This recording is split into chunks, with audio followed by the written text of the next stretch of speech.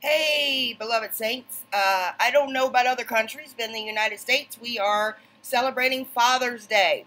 So I wanted to say to all of you whose dads have gone on to be with the Lord, we honor them.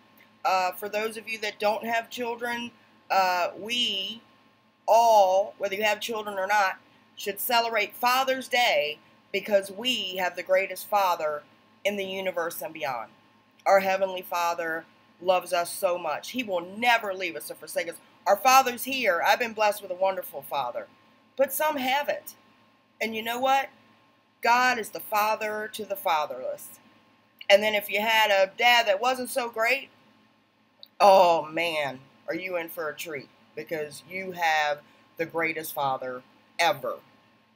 That he never, he'll never uh, disown you.